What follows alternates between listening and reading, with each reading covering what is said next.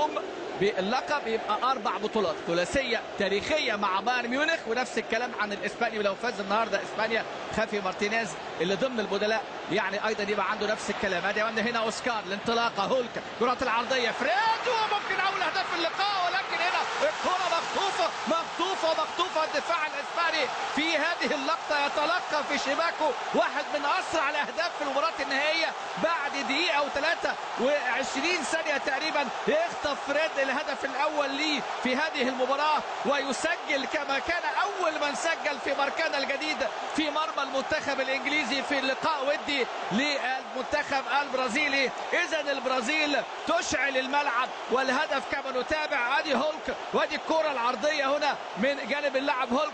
شوف هنا فريد والتقاء وأربيلوا يبحث عن الكرة. ثم أمامنا هنا بقى يخطفها فريد من الوضع راقدا لاعب فلومينينسي اللي بيسجل في هذه اللحظات الهدف الرابع ليه في هذه البطولة. يتساوى مع أبيل هرنانديز. أدي أمامنا الكوره من راموس ترتطم في إيد أربيلوا ثم يجدها فريد وفي مرمى الحارس. وسعادة وفرحة أمامنا أمامنا هولك عنده الكرة الآن. وسط الميدان هنا يطلع عليه أوسكار. وانطلق أوسكار. في بسرعة. أوسكار نيمار. هيطلع بسرعة منتخب البرازيلي نيمار. هو الهدف الثاني نيمار. نيمار. يرجع لأوسكار. أوسكار لنيمار. توقع نيمار جول! من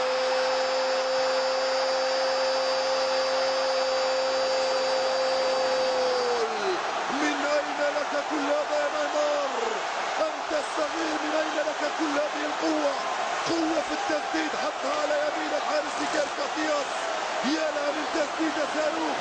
يا لها من تمريرة ويا لها من توغل. نيمار يقتل الإسبان. يسجل هدف ثاني ولكن الأهداف. هدف ثاني قاتل يا نيمار. هل كان في وضعية تسلل أم لا؟ هل كان في وضعية تسلل أم لا؟ هنا متسللا.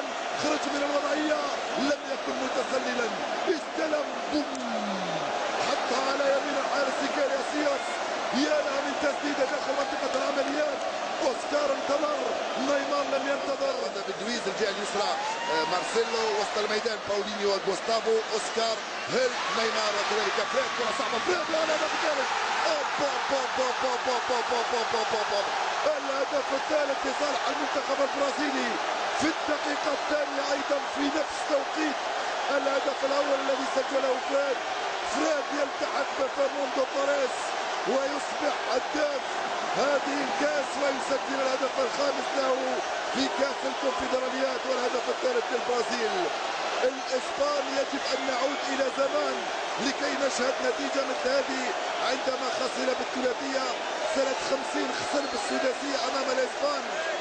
أمام البرازيل ها هو في الماراكانا ينهزم بثلاث أهداف مقابل صفر مع انطلاقه الشوط الثاني. طبعا الآن نقدر نقول بأنه دفع ثمن الإرهاق الذي نال منه في المباراة النصف النهائيه دفع اليوم ثمن الحيوية والاندفاع والإرادة والحضور الكبير جدا. الفردي والجماعي للاعبي المنتخب البرازيلي.